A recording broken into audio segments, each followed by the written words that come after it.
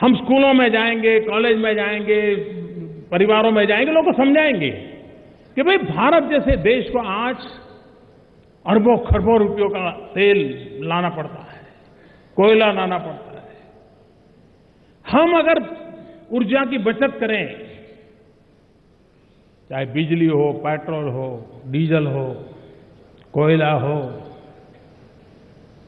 हम देश की ये सेवा कर सकते हैं। और साल भर एक अतिरिक्त विषय के रूप में मानो इसको लिया। कभी मान लीजिए हम ले लें एक आध वर्ष कि भाई हम एज अ पार्टी गाँव गाँव घर घर जाएँगे। जिन गाँवों में, जिन घरों में टॉयलेट नहीं है, लोगों के साथ बैठेंगे, सरकारी योजनाओं का लाभ पहुंचाएँगे, लेकिन टॉयलेट के बिना कोई घर ना हो। इसके लिए हम एक अभियान चलाएँगे। ये वो काम है जो सरकारी नहीं है। और कभी कभी तो मुझे लगता है, आचार्य विनोबा जी भी कहते थे, असरकारी असरकारी। यानी गैर सरकारी कभी कभी ज़्यादा प्रभावी होता है। क्या हम संगठन को यह आदत डाल सकते हैं क्या? हर वर्ष एक सामाजिक विषय जो राष्ट्रहित की तर, तराजू पर तोला जाए जन कल्याण के काम आए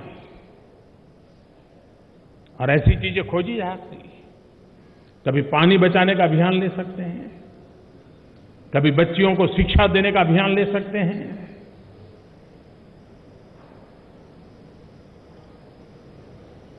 भारतीय जनता पार्टी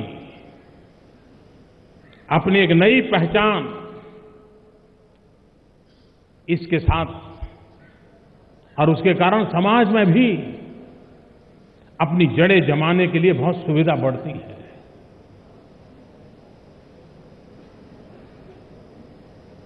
मैं आशा करता हूँ कि नए अध्यक्ष और उनकी जब टीम बनेगी मेरे सुझाव पर ज़रूर विचार करेगी और जो भी पार्टी निर्णय करेगी, वो निर्णय हम सब कार्यकर्ताओं के लिए शिरोमान्य होगा।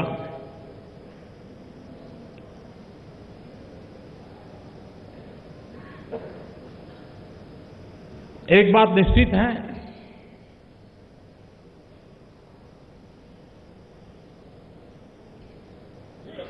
हिंदुस्तान की एक विशेषता रही है। अन्य दंडों के लिए उनकी कसौटी के तराजू अलग है। उनको नापने के लिए मानदंड अलग है। लेकिन हम अकेले ऐसे हैं, भारतीय जनता पार्टी, जिनकी कसौटी के तराजू भी अलग हैं, नापने के लिए मानदंड भी अलग है। ऐसा क्यों है? ये तो समय बताएगा, अभी तो पता नहीं चल रहा है कि ऐसा क्यों हमारे साथ हो रहा है। लेकिन इसमें से भी हम अच्छा कर सकते हैं। हमारे लिए अच्छी बात है कि हमें ज़्यादा कसा जा रहा है। हमारे लिए अच्छी बात है कि हमारे लिए मानदंड जरा कठोर रखे जाते हैं। हमारे लिए अच्छी बात है कि हमारे लिए वैसे तरोजू में तोला जाता है, जिसका और राजनीतिक दलों को और राजनेताओं के साथ कभी अवसर नहीं आता है, हमारे लिए आता है। मैं इस चुनौती को स्वीकार करता हूँ। और हम भारतीय जनता पार्टी ने इस चुनौती को स्वीकार करना चाहिए। ऐसे कठोर से कठोर मानदंड से भी हर प्रकार से हमने खड़े उतरना चाहिए। न उसके लिए शिकायत है, न उसके लिए कोई भय है। और मैं तो चौदह साल बराबर तप करके निकला हुआ इंसान।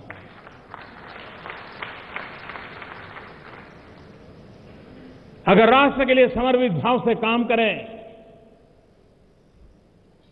गरीब से गरीब को हमारे नज़रों के सामने रख करके निर्णयों की प्रक्रिया चलाते रहें तो कठोर से कठोर कसौटियों से भी हम खड़े उतरेंगे मेरा विश्वास है।